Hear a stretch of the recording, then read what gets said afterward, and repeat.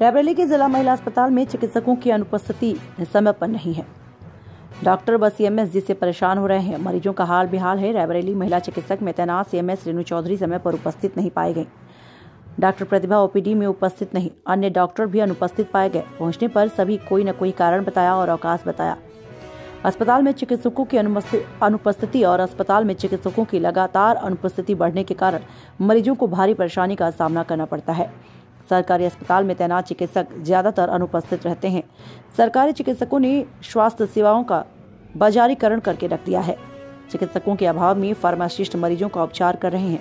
अस्पताल में चिकित्सकों की लगातार अनुपस्थिति के कारण मरीजों को भारी परेशानी का सामना करना पड़ रहा है। सरकारी अस्पताल में तैनात चिकित्सक ज़्यादातर अनुपस्थित रहते हैं, निजी अस्पतालों में अपनी सेवाएँ देते हैं।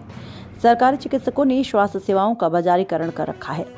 चिकित्सकों के अभाव में फार्मासिस्ट ही मरीजों का उपचार करने में लगे हैं, जिससे कहीं न कहीं मरीजों की जान माल का खतरा बना है।